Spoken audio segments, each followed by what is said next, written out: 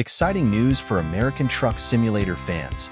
The upcoming 1.51 update for the Oklahoma DLC will include the long-requested missing link of Interstate 44 through Oklahoma City. This update will connect the western and eastern sections, completing I-44 in Oklahoma, and will be available for free to all current owners of the Oklahoma DLC. Additionally, the I-44 will feature two new depots, a furniture store and a construction site. The update also brings two new truck stops on the I-40 near the Arkansas border, providing ideal points for truckers to explore both Oklahoma and the soon-to-be-released Arkansas DLC. Once the 1.51 update is released, make sure to check out the news section of I-44. Subscribe for the latest news on upcoming projects and more.